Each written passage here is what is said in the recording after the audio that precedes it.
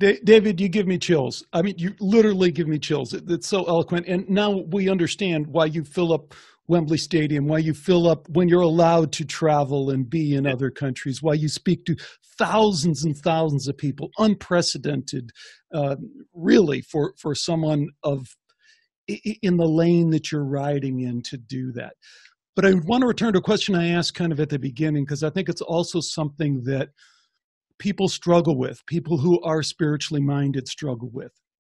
And that is the action versus being part. Like, I need to just be my spiritual self and evolve my spiritual self versus I need to take action. And sometimes that action might be in conflict ultimately with someone else, even if I don't seek that out.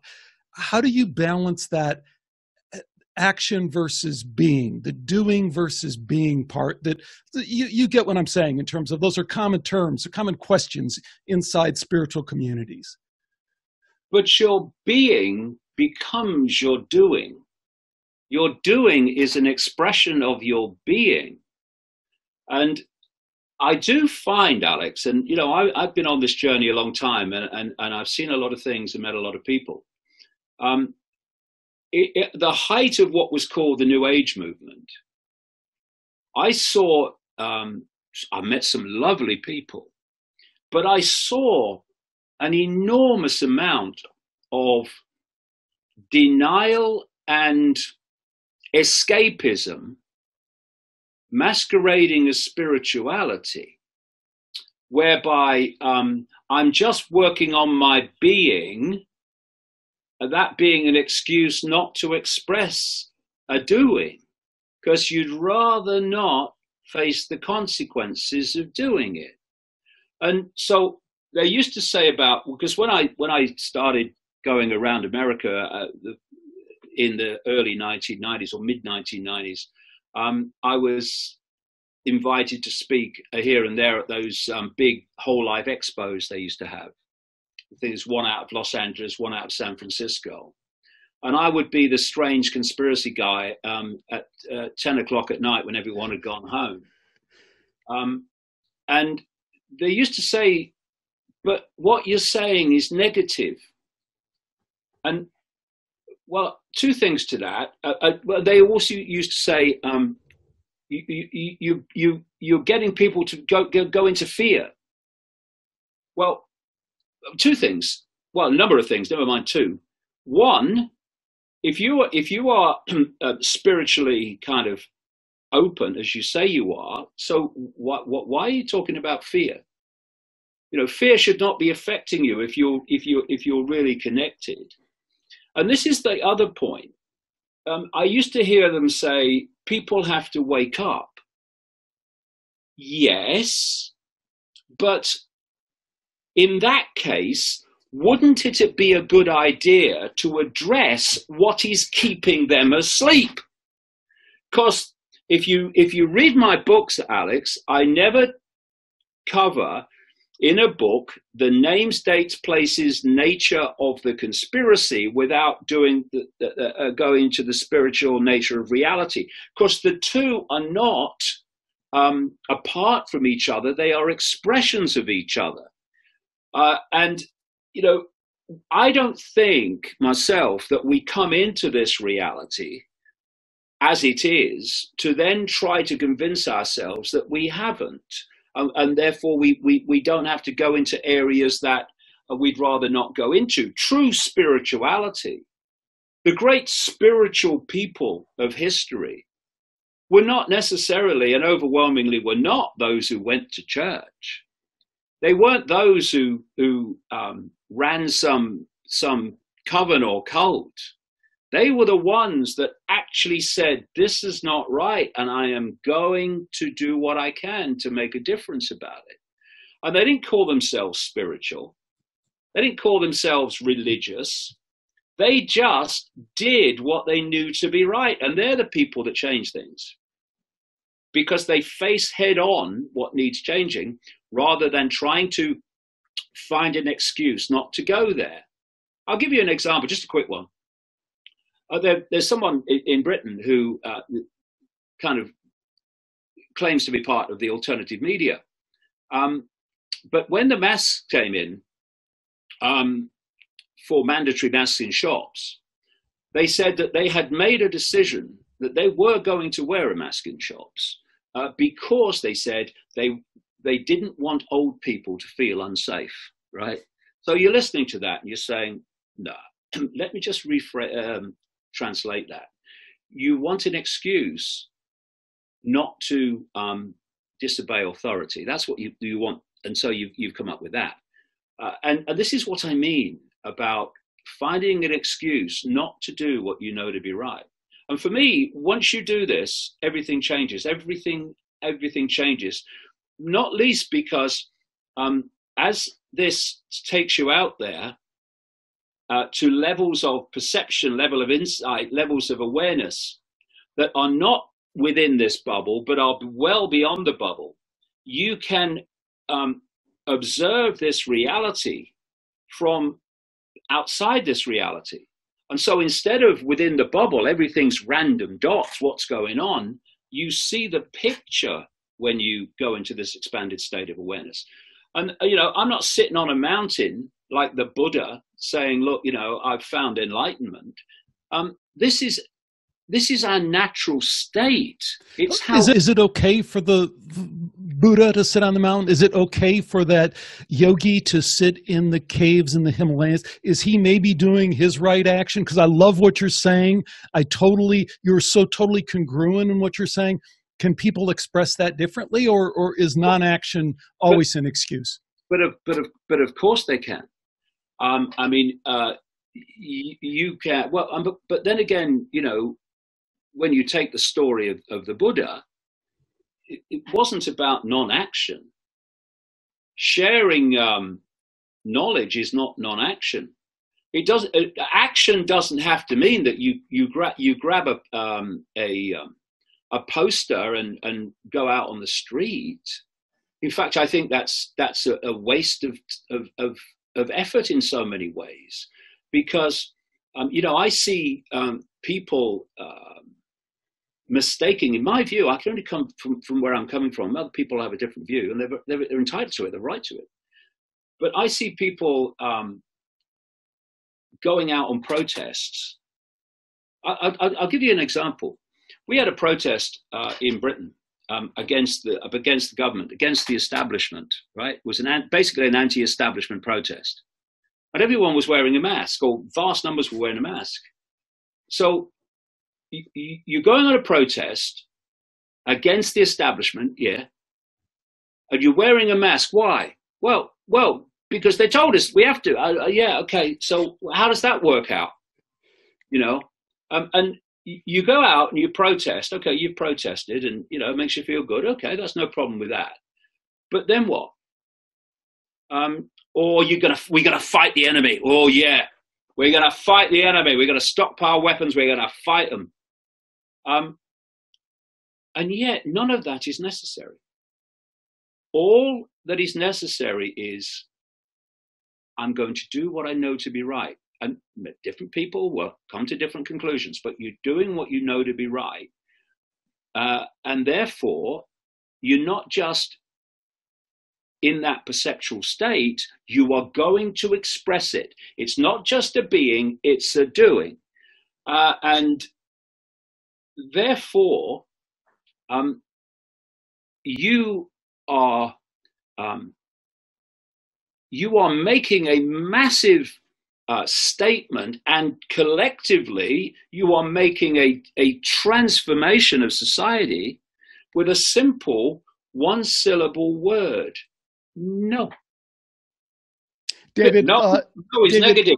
No couple... is not negative. No can be an incredibly powerfully positive word. You are going to do this because we, the few, have said you will do it. No, won't do it. No, no panna, no protest, no stockpiling weapons.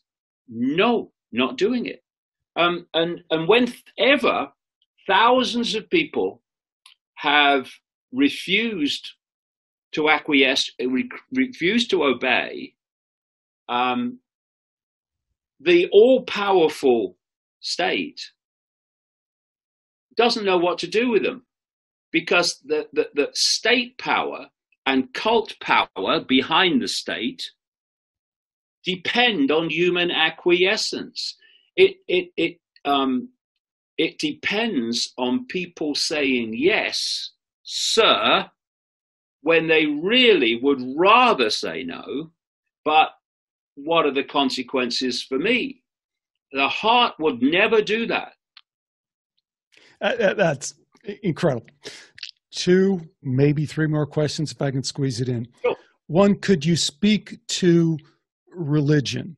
Because many people get offended. They feel like religious beliefs are somehow protected beliefs.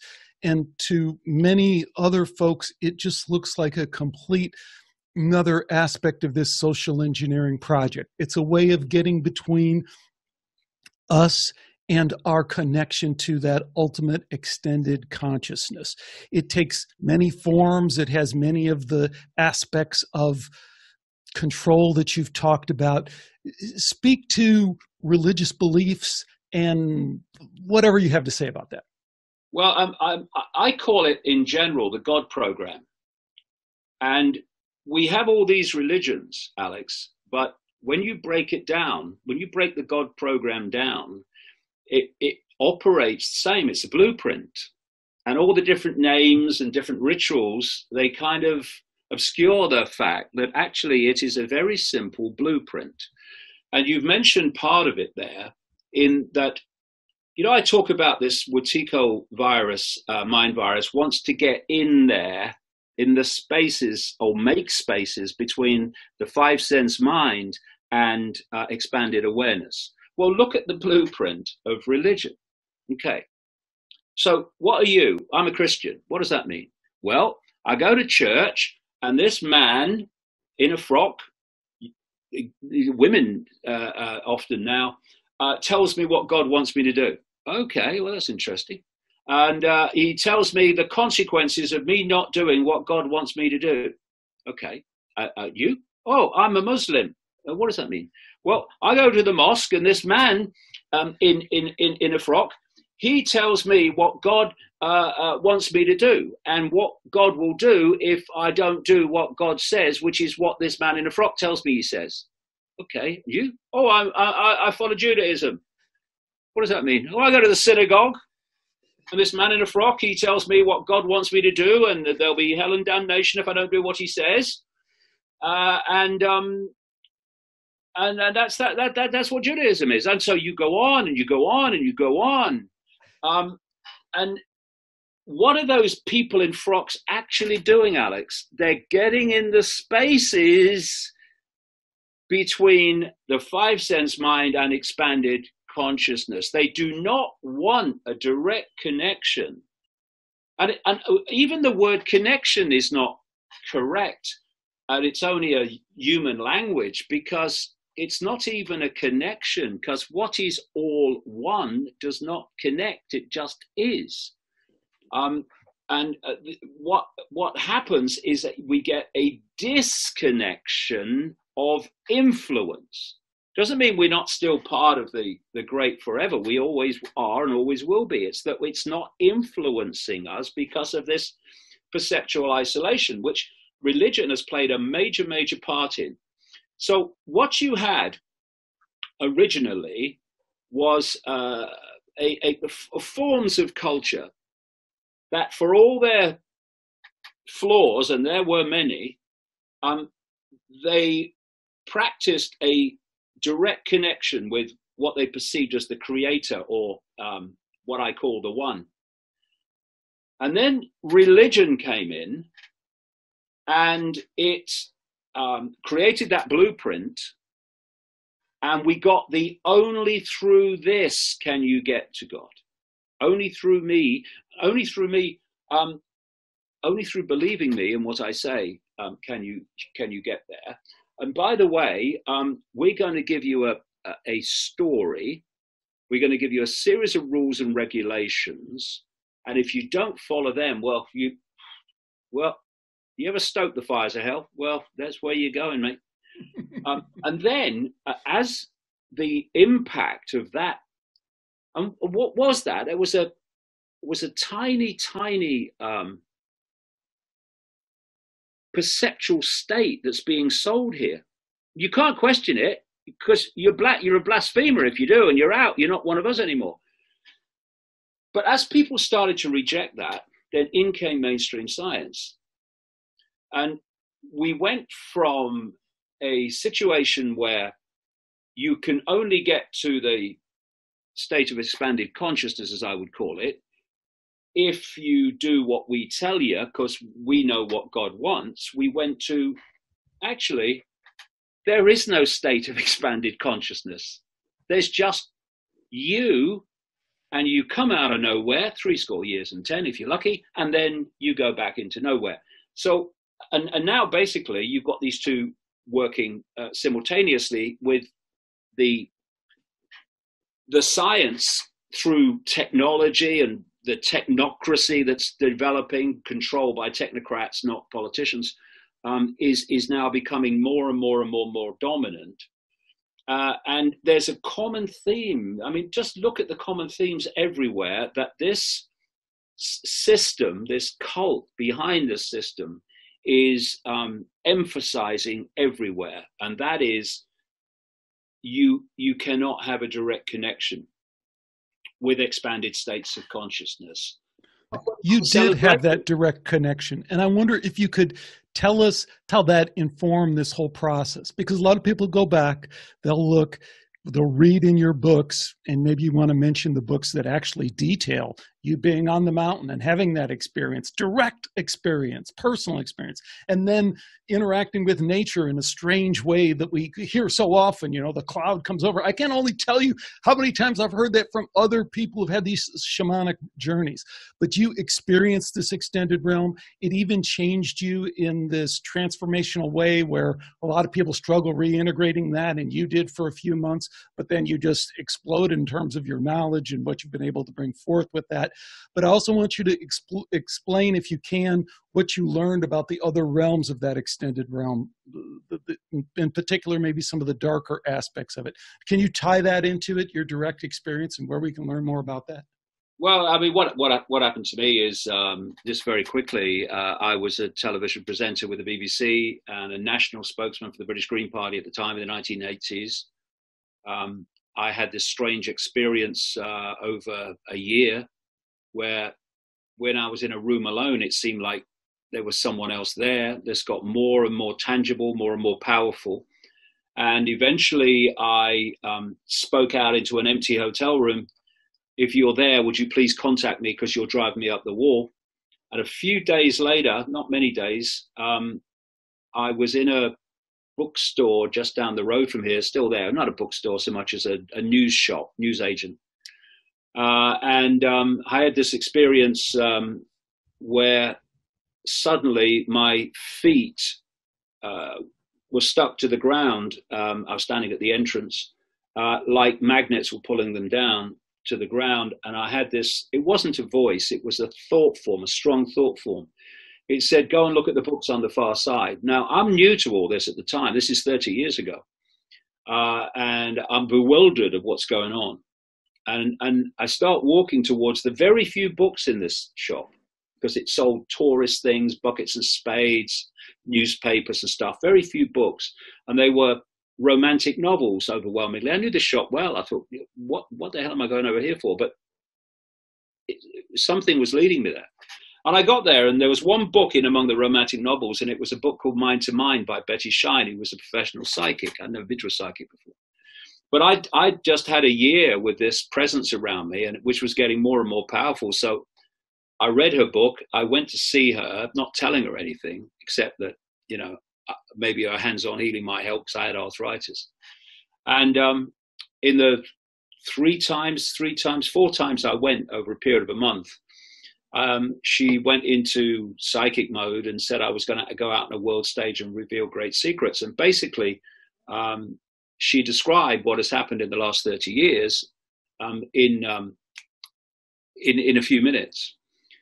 Uh, and then um, I, in a bewildered state, because my life was dramatically changing, my awareness, my perceptions were dramatically changing through 1990.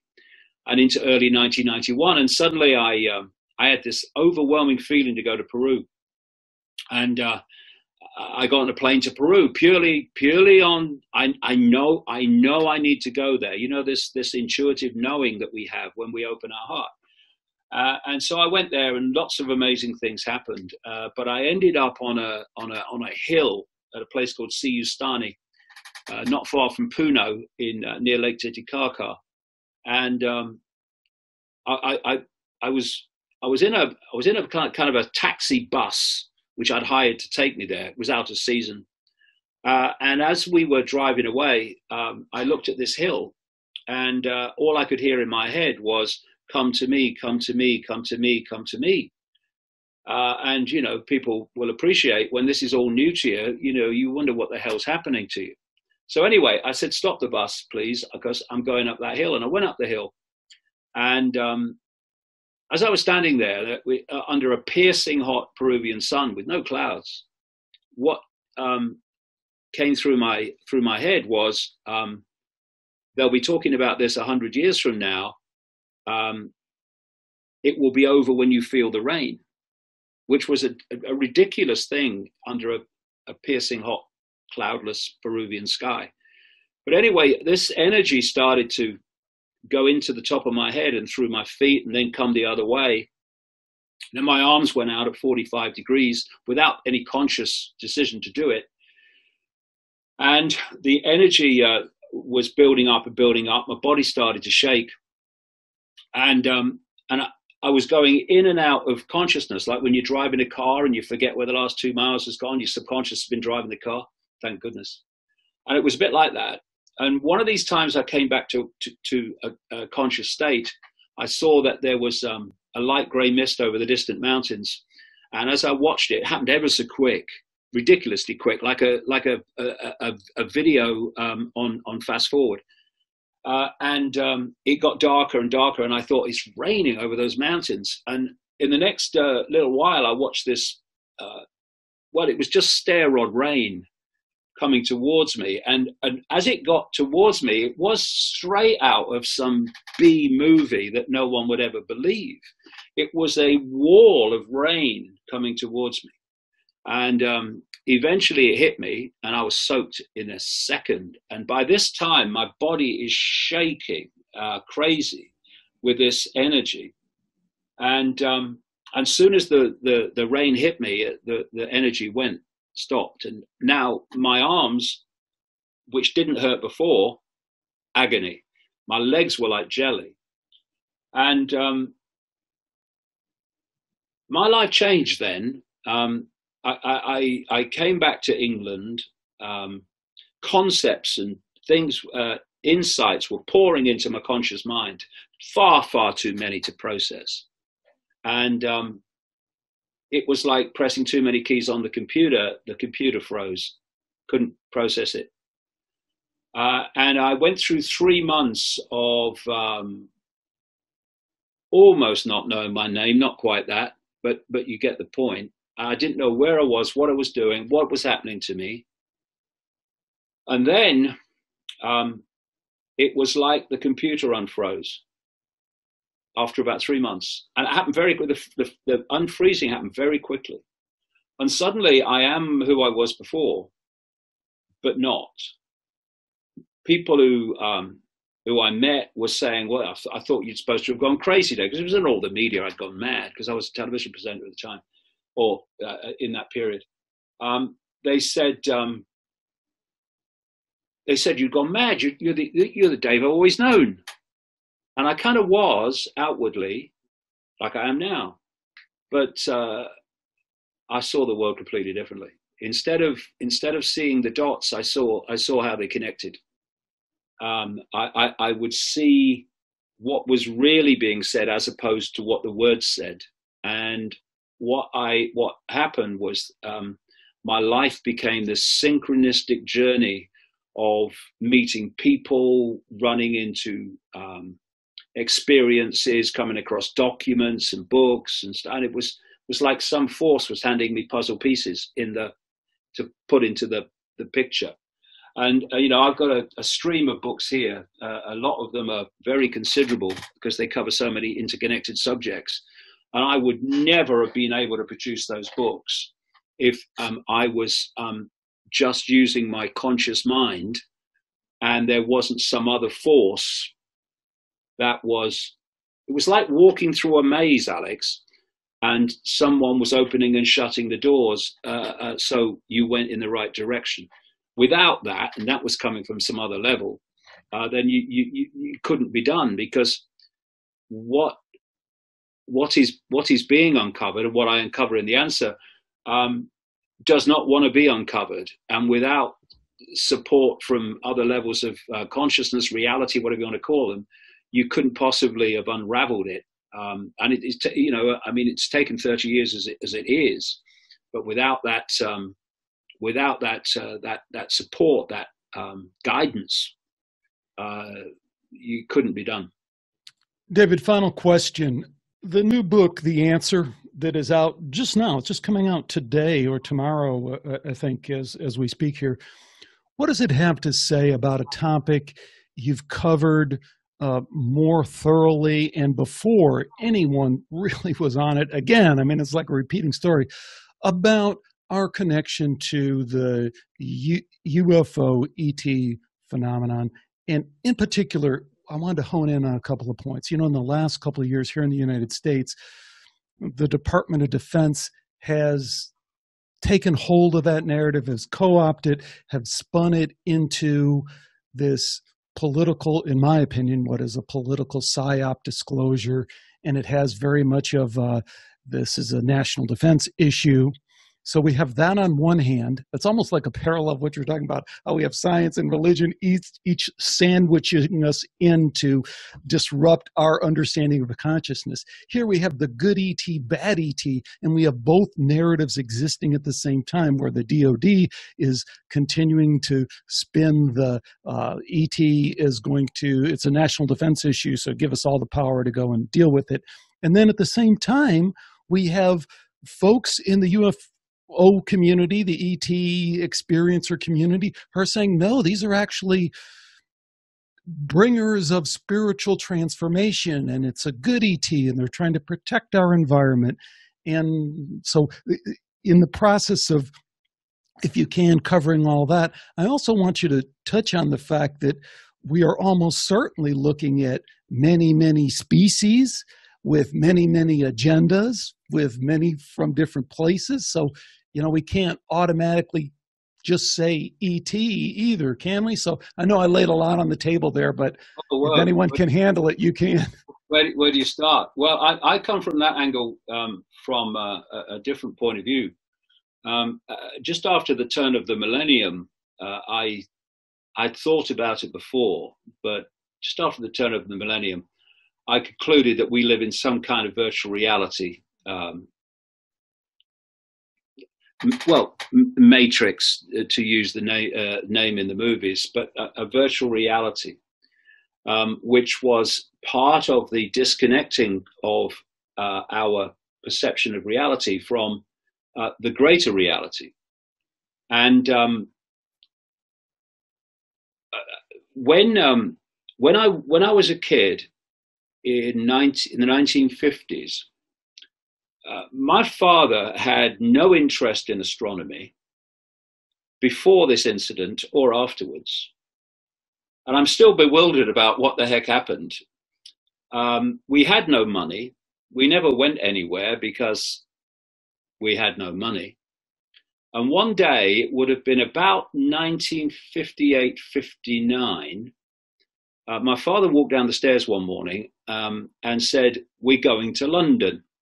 And uh, I was shocked because I'd never been to London. It was a long time before I'd go again. And what, 1958, 59, I would be six or seven. We're going to London. And I remember we went on a steam train. Um, and my father said, We're going to the planetarium. Right? Now, I didn't know what a planetarium was. I wasn't bothered. I just want, I, I just wanted to go to London. I'd heard about it or so much about it. So we go on this steam train to London. We go to a planetarium, which I, I know the date because it had just opened. It opened in 1958 in London, next to Madame Tussauds in London, in Baker Street. And um, so I didn't know what to expect. So we walk into this planetarium and I, I, sit down at the seat. I don't know what to expect. And then suddenly, uh, the roof, the ceiling, dome ceiling, became the night sky. And it must have been about midday we were sitting there.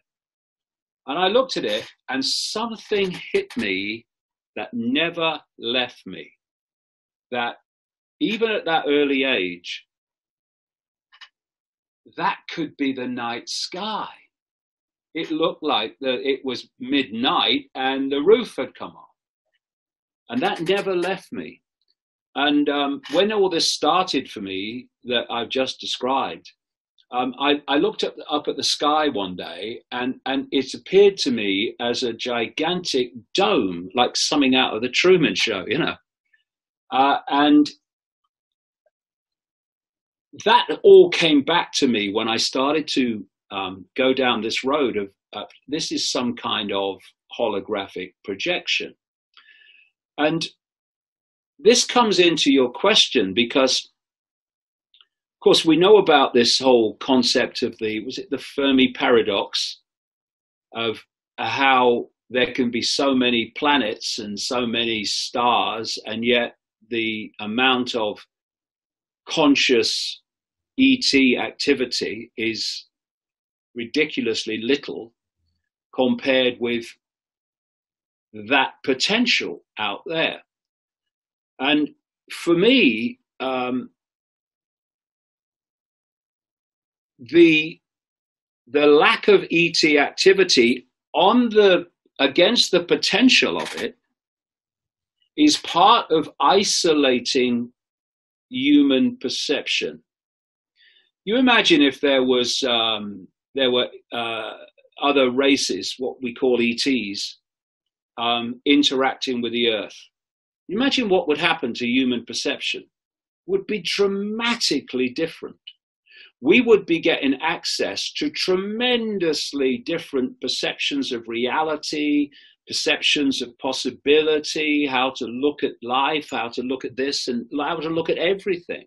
We would be in a, a completely different knowledge base but if you can isolate or perceptually isolate people to the point where there is no out there, or perceived to be no out there, certainly no conscious interaction, then you can isolate this bubble again and you can control what? You can control the information that the target population receives, which leads to its perception, which leads to its behavior.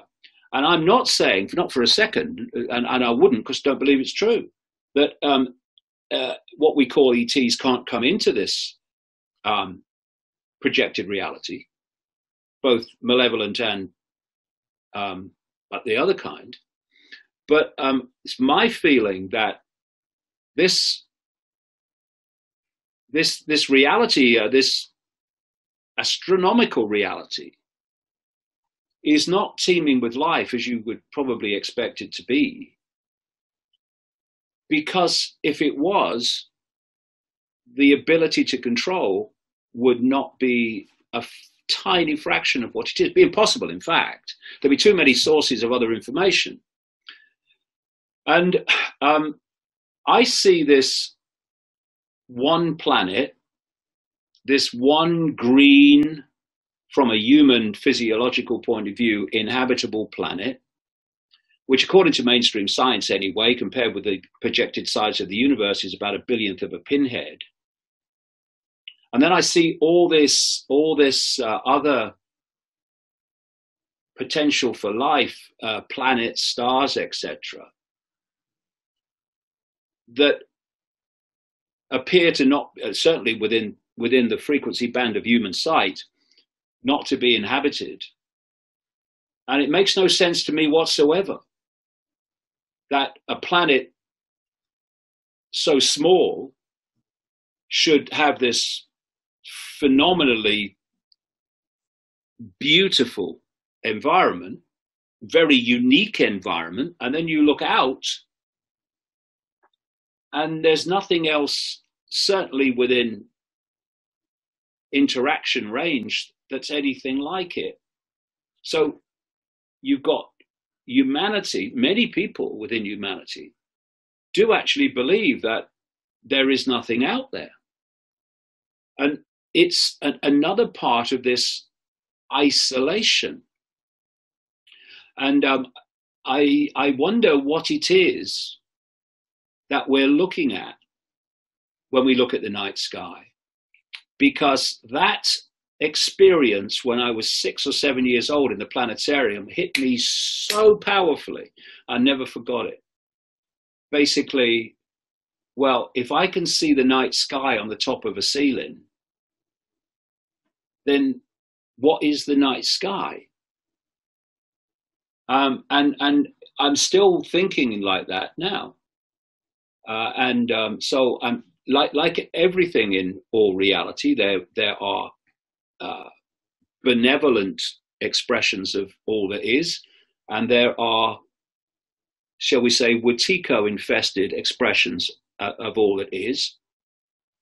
But I just wonder what this what this night sky really is, what this space that we perceive really is, and whether it is what we think it is, or actually just a holographic perception, which would uh, uh, projection rather, which would um, which to our senses would seem incredibly real as it does. Our guest again has been David Icke, truly, as I said at the beginning, one of the bravest, I would say one of the most important thinkers of our time. He's never going to make it on that Times list of one of the top 100 most influential. Thank God, Alex. Thank God. Be sure to check out this new book, The Answer, and hopefully it's an entry point if you haven't to checking out his other books. I think Trigger is super duper important book if you haven't looked at that. But his website is fantastic too. I'm a member. Many, many videos, blog posts, valuable stuff. Well, well worth it. Ickonic.com. And we have to support, even more, we have to support this kind of work because part of the process is to put this boa constrictor stranglehold and gradually try and cut off the money that this important research deserves. So, David, truly, truly wonderful having you on. Thank you. Thank you so much. Thank you. And uh, we started Ickonic, uh, which now it's about 750 videos and um, uh, series and podcasts and full length feature films because we could see this uh, we could see this severe censorship coming, and we wanted a, a place where this could be available. And uh, some great news, uh, I think is great news anyway. Um, uh, we've just uh, licensed um, Vaxxed. You know the movie Vaxxed. Oh yeah, uh, right. Yeah, about vaccinations, which there a big controversy with De Niro's um, film premiere, if you remember. Uh, we, we we've licensed that, so um, that that's on um, Ickonic very soon. The only place you can see it streamed. You know what I'd like to do? I'd like to offer, if anyone's stuck around this long, I'm going to purchase for you, for listeners, 10 copies of the answer. Okay. And I'll assign those randomly for every 10th person that that gets to me okay so the first 100 that email me every 10 one will, will receive a copy of the answer compliments of the show because it's so so important. And i hope when you receive that the one thing i'd ask is that you do check out Ickonic and at least sign up for a month and see if it doesn't provide the kind of value that i'm talking about okay? So just email me and i'll be honest about it. Every 10th one i'll give you a copy of the answer with the hope that you'll check out Ickonic. So david thanks again. Good luck yep. with the rollout of this and all the terrific work that you're doing. Real pleasure alex. Really lovely talking to you Thanks again to David Icke for joining me today on Skeptiko. I'm probably going to be diving further into this topic because I'm not so certain about some of the science he's referring to. But again, as I tried to make clear in the interview, the overall lay of the land that he's describing is so incredibly on target and way, way too close to the truth. I mean, scary close to the truth. So I guess that is the question to tee up from this interview, and that is what do you take from David Icke's view of the COVID 19 pandemic, and what do you leave behind? Love to hear your thoughts. They will inform me, they will drive me, they will direct me in how I move with this. So please let me know what you're thinking. And thanks, as usual, so much for joining me and for being a part of this. I have some good ones coming up. I did slip David Icke in here ahead of some other ones. I have some ones that are going to be really delayed, but that's okay. Uh, they'll all get out there, and the book will get out there too, and it'll all work out just the way it's supposed to. Until next time, take care and bye for now.